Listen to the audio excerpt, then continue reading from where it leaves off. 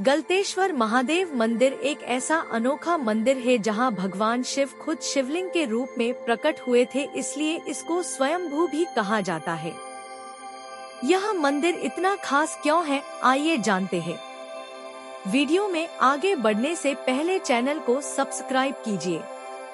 यह मंदिर भारत के गुजरात के खेड़ा ज़िले में, डाकोर के पास सरनाल गाँव में स्थित है। प्राचीन समय में गालव ऋषि ने दस हज़ार वर्ष तक भगवान शंकर की तपस्या की थी, जिससे प्रसन्न होकर भगवान ने शिवलिंग के रूप में गालव ऋषि को दर्शन दिए थे। अर्थात यह एक स्वयंभू शिवलिंग है। इस शिवलिंग पर गलती नदी के झरने से लगातार अभिषेक होता रहता था, जिसके कारण इसका नाम गलतेश्वर महादेव पड़ा था। फ़िलहाल एक डेढ़ वर्ष से झरना बंद कर दिया गया है। मही एवं गलती नदी के संगम स्थान पर यह मंदिर होने के कारण इसकी विशेष महिमा है। तत्कालीन समय में कुंतलपुर नाम का नगर था, जिस पर पूर्व राजा चंद्रहास राज्य करते थे।